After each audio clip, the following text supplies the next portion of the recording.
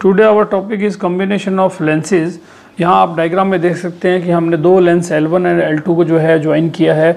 आप देख सकते हैं कि वो एक ऑब्जेक्ट है, जिससे ये रे जो है, वो एक इस तरह से मूव की और लेंस वन इसको रिफ्लेक्ट करेगा इमेज आई वन पे क्रिएट करेगा, लेकिन आगे लेंस टू भी इसको मिल जाएगा, जो इसको फिर से और रिफ्लेक्ट कर देगा और फाइनल इमेज हमारी आई पर मिलेगी।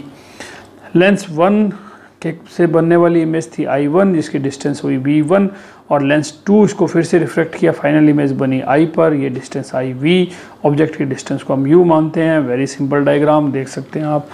अब इसके लिए अंदर हम स्टेप वन हम हर एक डेरिवेशन को स्टे, तीन स्टेप में करेंगे। Step number one lens L one के लिए हमने लेंस फार्मूला लगाया। वो होता है final image minus distance of final image minus distance of object is uh, is equal to the focal length. तो ये आया one upon V one minus one upon U is equal to one upon F one इसके लिए हमें we one लेनी पड़ेगी image की distance ये इक्वेशन नंबर वन आ गई।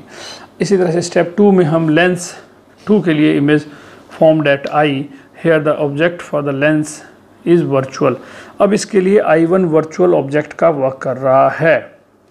तो इसके लिए लेंस फार्मूला लगाने के लिए इमेज लास्ट फाइनल इमेज कहाँ बन रही है हमारी?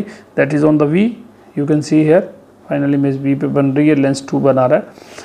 इसके लिए अब ऑब्जेक्ट कौन सा लेना पड़ेगा? इसके लिए अब हमें ऑब्जेक्ट लेना पड़ेगा वी वन वी वन अब इसके लिए ऑब्जेक्ट का रूप में वर्क करेगा और इसकी फोकल लेंथ ये। इक्वेशन नंबर टू दोनों इक्वेशंस को हमने ऐड किया, यहाँ से हमें ये मिला। अब अगर एक सिंगल लेंस होता तो वो सिंगल लेंस इस तरह से इसको हमें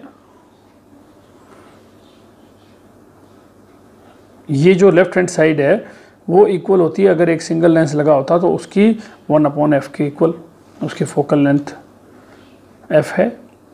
तो one upon V minus one upon final image minus object distance one upon F के बराबर होती। तो यहाँ से हम इसकी वैल्यू वन अपॉन एफ़ रख सकते हैं तो one upon F is equal to one upon F one plus one upon F two यहाँ से हम देख सकते हैं, और हमें पता है कि पावर जो होती है वन अपॉन एफ़ होती है so P one is equal to P one plus P two sorry P is equal to P one plus P two resultant power दोनों पावर्स का एडिशन हो गया. इसी तरह से अगर मोर देन टू लेंसेज हों तो पावर का फार्मूला हमारा ये बन जाएगा. और मैग्नीफिकेशन का हमारा फार्मूला ये बन जाएगा। Thanks for watching